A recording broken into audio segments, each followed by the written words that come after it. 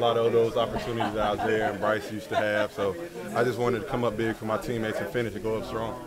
It seemed like things were flowing really well for you guys in that first half. You had six assists by yourself in the first half. Yeah, I mean, I just I was excited for the game. I mean, anytime you work in that middle, in that middle, uh, it's basically pick your poison. And uh, I had either a dump down or I had a three three pointer in the corner. So uh, I just try to make the right play every time. It seemed like you were shooting with some confidence. Yeah, yeah. I mean, I've been knocking down shots in practice and stuff. I mean, nothing's really changed. Just confidence, and my teammates always tell me to shoot it and knock down shots. So uh, I just stepped into it.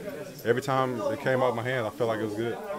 This is a tough atmosphere to shoot in, though. For oh yeah, definitely. I mean, I, I, personally, I feel like there's no better two players that's ready for this other than me, Joel, Luke, and Kenny. Uh, we played in two Final Fours, so we're ready for this. And uh,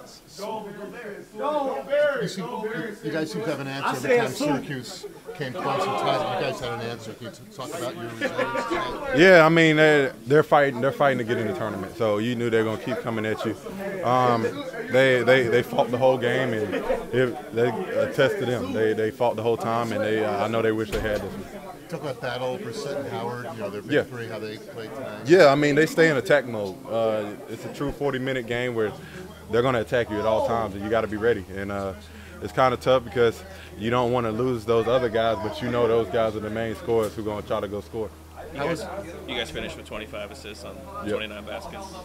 It's not bad. Not bad at all. Uh, that's what we do. Uh, we look for each other. We're a very unselfish team. It's, ever since I've been here, we've been unselfish, and uh, hopefully it keeps up, keep that up. I'm sure Joel was down on himself after the three that he missed.